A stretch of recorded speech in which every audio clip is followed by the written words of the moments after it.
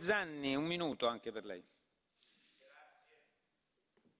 Grazie Presidente. Mi chiedo se coloro i quali invocano la soluzione del più Europa per risolvere i nostri problemi ci credano veramente o lo facciano solamente perché non vogliono ammettere il fallimento di questo criminale progetto. La Brexit è la prova provata del fallimento e la sfiducia verso l'UE monta in tutti i paesi, compreso il mio, dove solo un cittadino eh, su tre crede nell'Unione Europea. La moneta unica, l'euro, è stato il progetto criminale che ha definitivamente affossato i popoli europei ed invece di parlare di smantellamento dell'Unione economica e monetaria oggi proponiamo proponiamo addirittura un bilancio per l'eurozona che sancirà l'istituzionalizzazione distruttiva della troika. con la brexit l'ue e l'euro sono diventati morti che camminano facciamocene una ragione e ripartiamo a costruire un'europa diversa dall'ue fatta di stati sovranamente indipendenti.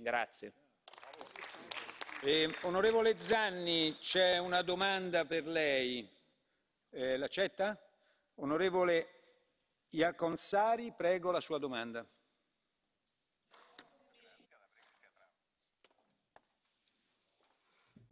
Ma insomma sul fatto che l'Unione Europea abbia portato la pace in Europa sono un po' in disaccordo. Io credo che la pace in Europa l'abbiano portata le basi militari degli Stati Uniti e i missili puntati verso Mosca, non certo l'Unione Europea. Per quanto riguarda eh, la disaffezione o meno dei cittadini europei verso l'Unione, eh, anche qui non sono d'accordo basta vedere dieci anni fa cinque anni fa il supporto che in europa eh, i cittadini europei davano eh, all'unione europea che era alto e quello che è oggi. Come le dicevo nel mio paese oggi un cittadino su tre solo quindi eh, meno della metà supporta l'unione europea. Sono i dati di statistica una statistica che è uscita di recente e la prova provata saranno le elezioni in grandi paesi europei che avremo nei prossimi mesi dove i partiti euroscettici scettici guadagneranno grandi percentuali. Forse non vinceranno a questo giro ma se le cose continueranno così con l'euro che porterà